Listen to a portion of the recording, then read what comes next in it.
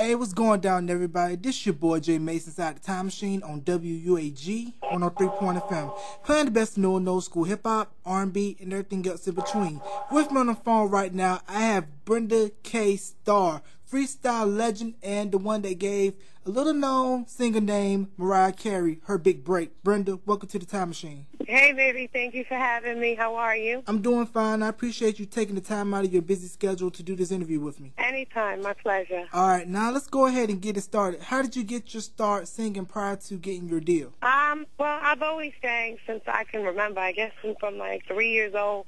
My dad was in the music industry, and I used to watch him on TV and just sing along with him and just watch a lot of shows like like um Soul Train and all these other musical shows like MTV and just sing along and basically I got my interest there and my mom put me in singing lessons when I was like 12 and then from there, I got my first record deal when I was 13, since I was a baby, I guess. Mm, so pretty much you got your deal when you was going through the puberty stage and Clearasil pads and all of that good stuff, right?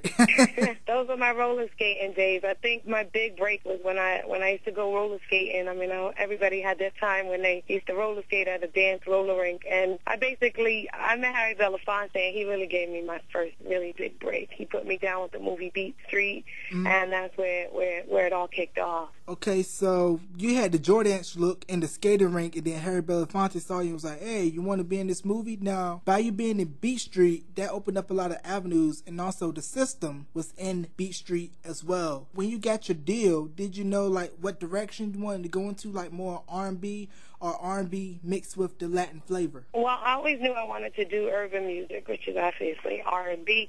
I mean, my mom put me for my birthday when I was going to be 13. She put me in the studio uh, two weeks before my birthday, and I cut Love on a Two-Way Street, which was um, a remake that uh, Stacy Lattisaw did, and then I cut the version.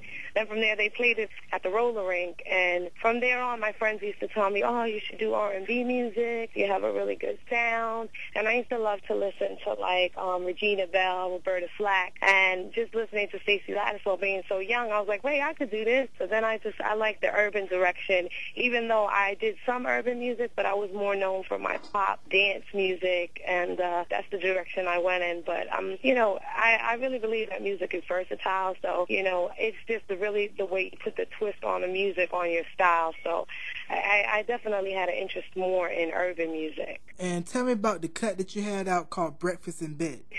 that was actually picked by the record company. I wasn't a huge fan of that song, but you know, you had to, you had to have some versatility, and in them days, you weren't able to have the artist creative control the way you wanted to. And being young, they never really give you that type of credibility. They they really take control of the musical aspect of it all. But you know, it ended up doing well for me, and it, put me on tour with New Kids on the Block. But I think that the song that really blew up for me was I Still Believe, in that where I got more of my recognition in terms of my crossover from pop to urban up to um, adult contemporary, which crossed me over to the Latin scene because I got to do I Still Believe in Spanish, being that I'm I'm Puerto Rican. Now, how did I Believe come about? Who was the songwriters, and did you know that that record was going to be that big of a hit? Um, I actually I believed that it was going to do well because I listened to the lyrics, and like I said, starting out really young in the music industry, I always had a vibe for a hit, and that was the one song that I was able to pick.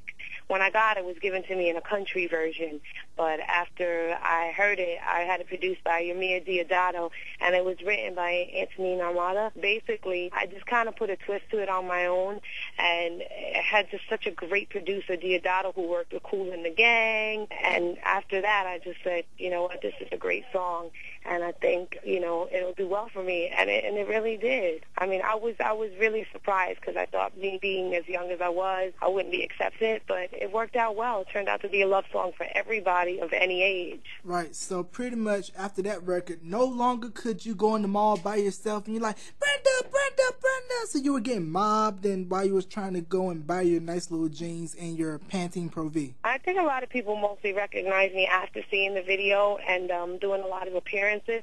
But I mean, I always stayed true to myself and, and I stayed living in the projects until, I mean, I moved out when I was 17, literally 16, but at 17, I, I you know, I traveled so much that I ended up giving up my apartment and staying with my mom. I bought my mom a house when I was 23, And then she ended up moving to Florida and not liking it and missing where we used to live. So she went back to where we grew up. You know, I mean, I was successful, but I never really took it on like that.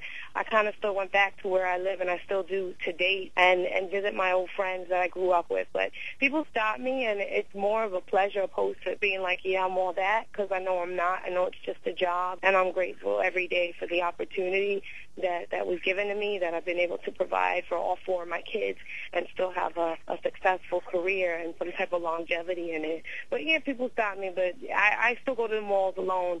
Even when I had a big record, I would go with my sister or my brothers, or just chill with my mom. You know, it's kind of hard for me to have a really a best friend. It was my best friend was my mom and my sister, right? My brothers. Mm, so, what was it like for you opening up for New Kids on the Block, one of the biggest boy groups in the world, when they were about to make their peak? It was great. You know, they were cool people. We had our tour bus. I was managed by Johnny Wright, who discovered Britney Spears, and it, it, was a great experience because I love the idea of being on a tour bus. And I started really touring heavily after I had my first daughter, and that's when I went out on tour with New Kids and I was I was about 23, and my daughter went on the bus with us, and you know they were like uncles to my to my daughter, and uh, we were all cool. You know, we all hung out, and and it was mostly, uh, you know, a circle of family because we all became family because we were on the road for four or five months. So it, it was great. You know, they're cool people. They're just as normal as you and I. And of course, now, like I said, they're back, and of course, their fans are going monkey nuts. Yeah, I heard about that.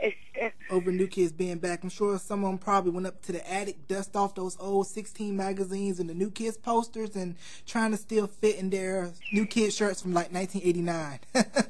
Yeah, of course. Yeah, but I'm happy for them. See, that's just the show. It doesn't matter how the time changes. Music evolves, and it always comes back. So, mm-hmm. you know, that's that's the best part about being in the music industry.